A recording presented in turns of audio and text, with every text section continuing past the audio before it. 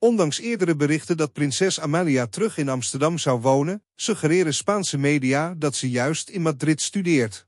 Opvallend genoeg is ze gespot bij IE University, wat het mysterie rond haar verblijfplaats verdiept.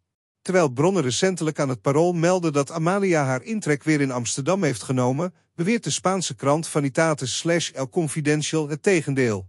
Volgens hen wordt Amalia regelmatig in Madrid gezien.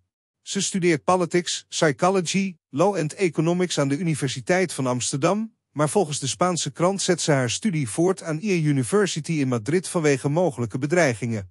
De Universiteit van Amsterdam bevestigt de mogelijkheid om tijdelijk het diploma in Madrid te behalen. Amalia lijkt zich goed te integreren in Madrid, waar ze zelfs als buurvrouw wordt beschouwd.